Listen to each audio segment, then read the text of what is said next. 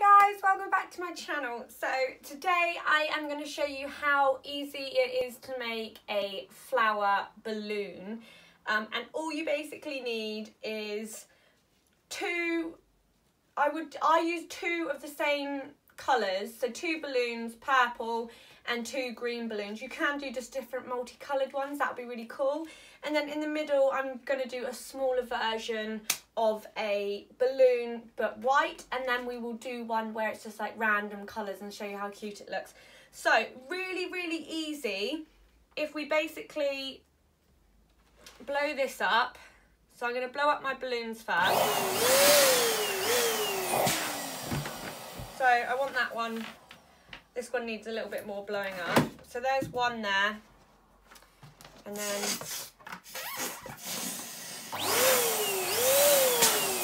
I roughly want them to be the same size.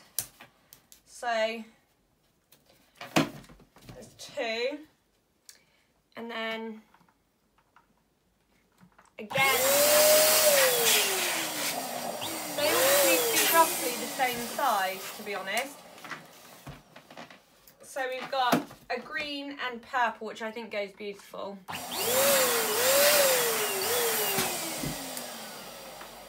And then what you need to do is I'm gonna blow up my little white one, but I'm gonna I'm not gonna do it as as much as the others. So there you go. I've blown up that one now. And basically all I'm going to do is get the two ends of the purple balloon and I'm going to tie them in a knot.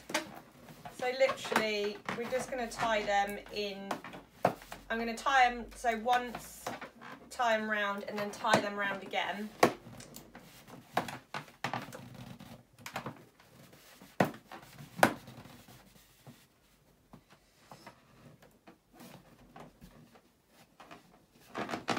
There you go. So there's so it needs to look like this.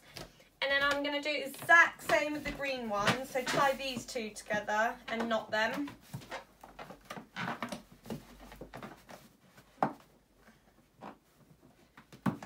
There you go.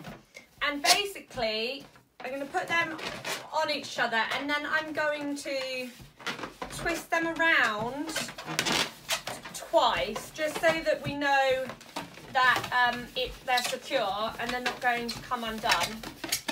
And then one more time with the greens so that they, they've been turned round now um, two times. So it basically looks like this now, which looks really cute. So fan it out on the floor and then I'm going to get my end here and then just put it through the middle of the balloons and then turn it over and I'm just going to attach it to another balloon and knot it so it's secure. And then tie it again just so it stays there.